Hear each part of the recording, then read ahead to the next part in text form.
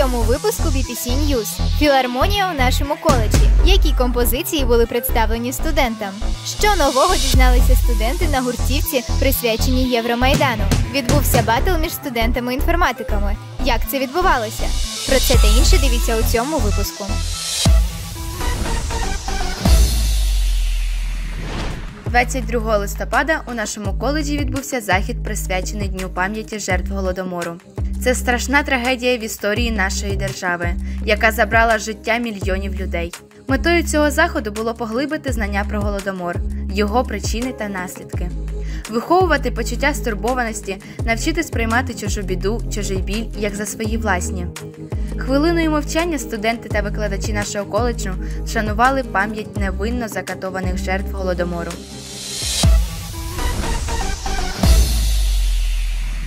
Холі нашого коледжу стоїть поштова скринька, листи з якою 19 грудня потраплять до небесної канцелярії. А ти вже надіслав свої бажання? Якщо ні, то мерщі до холу коледжу. Миколай чекає твого листа.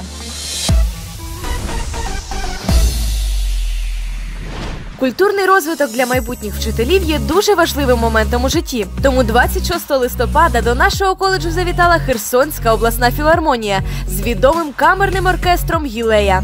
Наші студенти детальніше ознайомилися з творчістю композиторів минулих століть, прослухали маленьку нічну сиренаду Моцарта, щедрик українського композитора Миколи Леонтовича та багато інших композицій. Всі отримали естетичне задоволення від прослуховування класичної музики і радо дякували камерному оркестру Гілея бурхливими оплесками.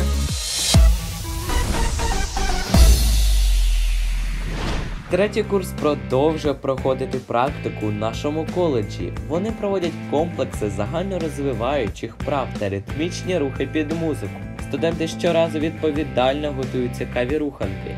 Настрій після таких перерв завжди на висоті, бо самі такі перерви допомагають нашим студентам відпочити від пар та з користю провести час.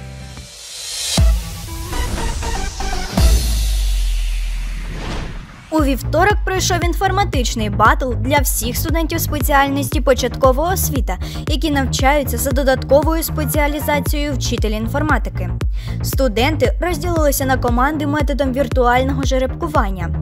Батл складався із таких конкурсів: візитівка команд, розминка, логіка справжнього програміста, змагання із штучним інтелектом та конкурс Я інженер. В першому конкурсі команди змагалися на найкреативніше представлення.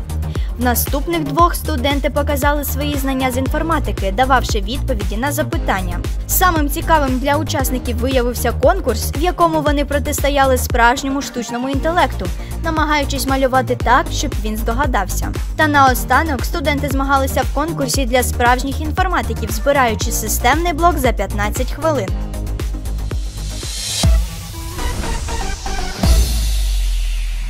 У четвер пройшли філософські читання для студентів других курсів. Захід проходив з метою зацікавлення молоді до пізнання біографії науковців та для розвитку світогляду. Студенти розповідали цікаві факти життя знаменитих філософів-математиків, таких як Архімед, Евклід, Декарт, Лейбніц, Паскаль, Ньютон, їх філософські та педагогічні погляди.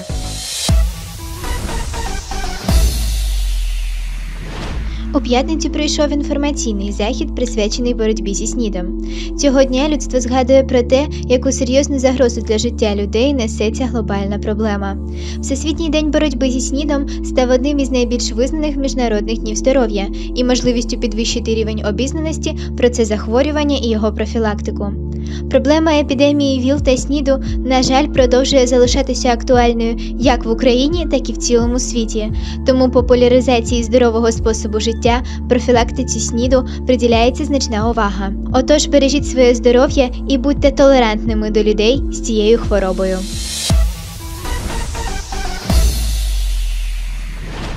30 листопада в Україні проводиться День пам'яті про загиблих студентів і людей під час Євромайдану. Для всіх українців цей день залишиться назавжди, адже люди боролися проти корупції та свавілля правоохоронних органів. В нашому коледжі пройшла гуртівка, присвячена загиблих на Євромайдані. На ній розповідалося про ті жахливі дні, які відбувалися.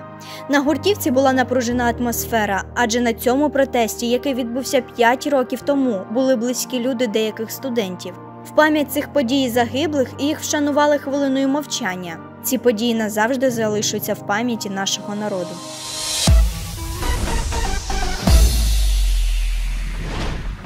Челендж, чому я обрав професію педагога, продовжується. В стінах школи було проведено інтерв'ю студентами-практикантами та робочих місць викладачів коледжу. Що ж вони відповіли? Давайте подивимось. Я обрала професію педагога, тому що я дуже люблю дітей. Мені подобається проводити з ними час. Будучи маленькою, я мріяла стати вчителькою і навіть у дитинстві гралася у школу з ляльками. І, можливо, саме це стало першим кроком до мрії. З дітьми дуже весело, і від них можна дізнатися також багато чого нового. І хочеться стати справді гідним наставником для кожної дитини. Я обрав професію педагог, тому що вона мене надихає на нові завершення. Мені подобається спілкуватися з дітьми, тому що вони мені дають нову інформацію про себе, цим я дізнаю щось нове про них. Я задоволена, що обрала професію педагога, адже ця професія цікава, дивуюча та різноманітна.